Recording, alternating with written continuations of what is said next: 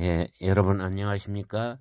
예, 약이 되는 음식 식약동은 64번째 시간으로 오늘은 어죽에 대해서 말씀드리겠습니다. 예, 오장을 보호하고 신체를 튼튼하게 하며 소화기를 편하게 해준 데 좋습니다.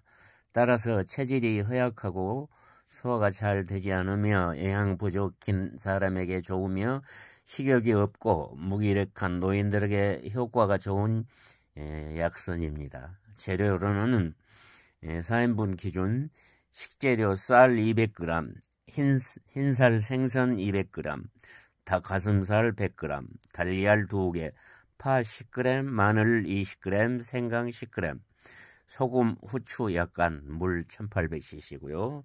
약재료는 복령분 20g, 산약 분 20g.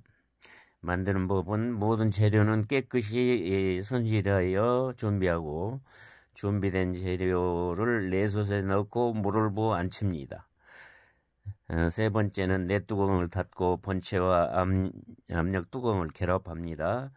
네 번째는 메뉴 약죽을 선택하고 시작 버튼을 누르면 됩니다.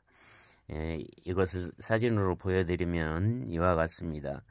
먼저 재료 준비, 내솥에 넣기, 물 붓기 그러면 이렇게 죽이 완성됩니다. 에, 에, 이것은 지금 음, 완성된 어, 어죽인데요.